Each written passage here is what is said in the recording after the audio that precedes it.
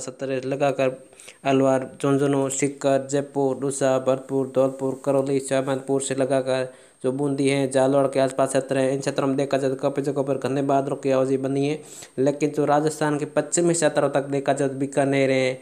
गंगानगर, हनुमानगढ़ का मौसम लगभग शुष्क रहने की संभावना है, लेकिन काफ़ी कोहरा रहेगा, ठंडी उत्तरी पश्चिम हवा चलती रहेगी, लेकिन तापमान है जो रात आठ से नौ डिग्री तक है, जो गंगानगर है, हनुमानगढ़ के क्षेत्रों में देखा जाए तो काफ़ी जगहों पर रात का तापमान में गिरावट होगी, लेकिन जो ग्यारह बारह जनवरी के बाद देखा जाए तो राजस्थान में एक बार फिर से तापमान में बढ़ोतरी होने के अनुमान है।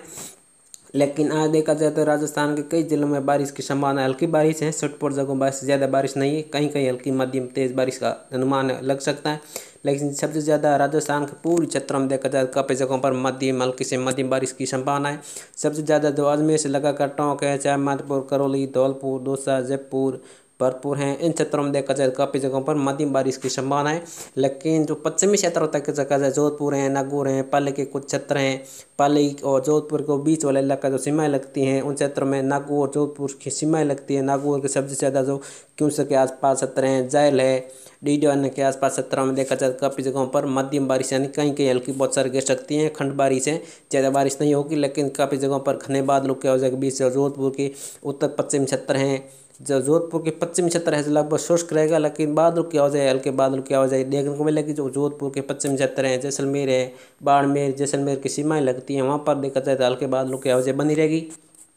लेकिन बीकानेर जो नागौर की सीमाएँ लगती हैं, वहाँ पर देखा जाए तो कहीं कहीं बिल्कुल बारीक बौछार गिरने की संभावना ज़्यादातर मौसम है, जो कि घने कोहरे के बीच बारिश का मौसम बना रहेगा। लेकिन बादलों की आवाजाही है, जो दोपहर के बाद देखा जाए इन क्षेत्रों में काफ़ी बादलों की आवाजाही काफ़ी कम हो जाएगी।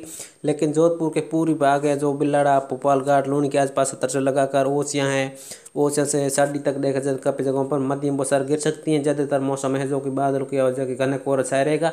लेकिन जो जालोर से कहीं मौसम है। इन क्षेत्रों में देखा जाए तो काफ़ी बादलों की आवाज़ें देखने को मिलेगी। लेकिन अभी बात की जाए तो इन क्षेत्रों में जो प्रतापगढ़ से लगाकर काफ़ी जगहों पर घने बादलों की आवाज़ें बनी हुई है। जो प्रतापगढ़ है, उदयपुर के क्षेत्र में भीलवाड़ा है चित्तौड़गढ़ है राष्ट्रमंद इन क्षेत्रों में देखा घने बादलों की आवाज़ मौसम लगभग शुष्क रहेगा, बारिश की संभावना बहुत कम है तो ऐसा रहेगा अगले चौबीस घंटों राजस्थान का मौसम। लेकिन दस जनवरी को देखा जाए तो जोधपुर, बाड़मेर, जैसलमेर है, जैसलमेर के जोधपुर की सीमाएँ लगती है, वहाँ पर देखा जाए तो काफ़ी बादलों का आवाज़ देखने को मिलेगी, लेकिन जैसलमेर का बाकी इलाका लगभग शुष्क रहेगा। तो ऐसा रहेगा राजस्थान समेत कई राज्यों में देखा जाए तो जो गुजरात है, महाराष्ट्र है कुआ है आंध्र प्रदेश के आसपास क्षेत्रों से लगाकर काफ़ी जगहों पर एक बंगाल की खड़ी निम्न दबाव के कारण काफ़ी जगहों पर राज्य में अच्छी बारिश हो रही है, लेकिन राजस्थान में देखा जाए तो हल्की बारिश की चीज़ें देखने को मिलेगी। लेकिन तापमान की बात की जाए, तापमान राजस्थान में दिन रात का तापमान बारह जनवरी के बाद में काफ़ी जगहों पर बढ़ने के अनुमान है। ऐसा रहेगा राजस्थान का अगले चौबीस घंटों का मौसम।